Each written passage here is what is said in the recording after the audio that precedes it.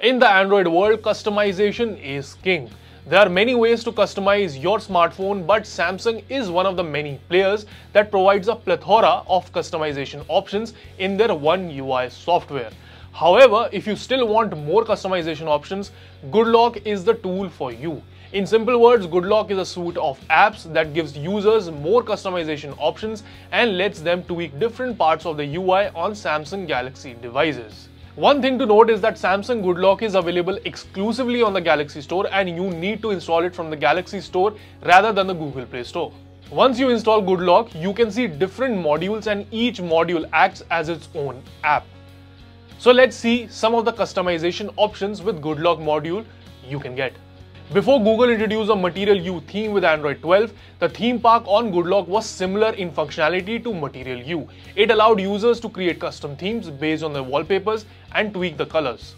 The second one is One Hand Operation Plus, not to be confused with one-handed mode. This module makes the navigation buttons easier to use with one hand. It allows you to put the home, back and recent buttons on the sides of the display, which makes it easier to swipe. The third one is clock face which as the name suggests lets you configure the clock styles for always on display and lock screen. You can also create your unique clock faces. Last but not the least, Routines Plus. Routine Plus extends the capabilities of regular routines by including location-based routines, fingerprint to the website, ability to export and import routines, and low battery announcements, and much more features. So that's it from our side. For more tech related content, subscribe to the TOI YouTube channel and other social media handles. Till then, this is Milan signing off and I'll see you guys in the next video.